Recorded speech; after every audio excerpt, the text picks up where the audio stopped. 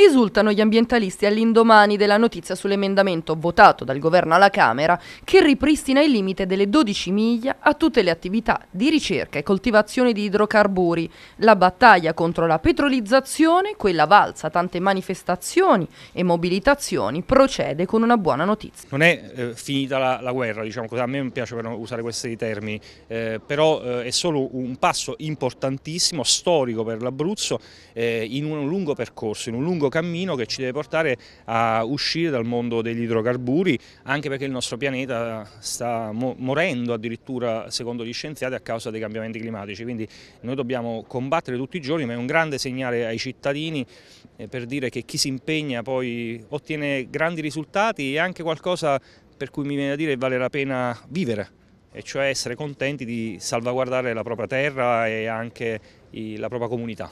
Cosa è stato determinante secondo voi?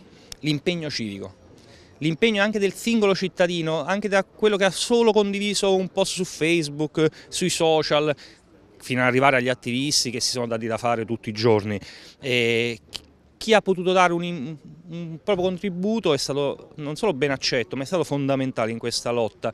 Davide può battere Golia, così dicono oggi gli addetti ai lavori. In questa lunga controversia ancora non scampata, oggi una menzione speciale va a chi ha contribuito come parte attiva. Devo dire sì, altresì che c'è stato il contributo, questo lo devo dire per onestà, di Giovanni Legnini. Giovanni Legnini è stato determinante in questa partita. Noi siamo in contatto con lui da oltre due mesi, eh, è lui che ha cucito tutto il progetto, è lui che ha dato diciamo, l'impulso diciamo, più determinante a questo grande risultato.